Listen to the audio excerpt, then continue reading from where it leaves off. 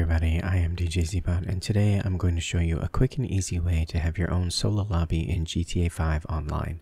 This will allow you to perform public missions, events, and other activities without the dread of constantly being killed or harassed by other players. Let's get into it.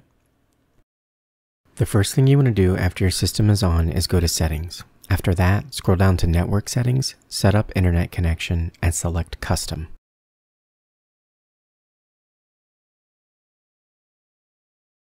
You choose your network that you would normally connect to and select automatic for IP settings. Do not specify a host name, automatic for DNS, and the next one is called MTU settings. Select manual. From there, you can change that number, which will most likely be 1500 to something like 800 or 880 like I have used.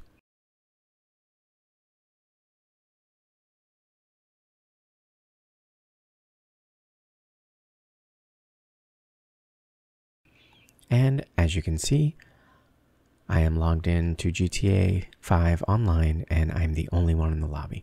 I hope this helps you out. There have been a few times where I've run into someone on my lobby and all I do is just join a new session and it usually fixes it. I don't know about you, but I love GTA 5 online.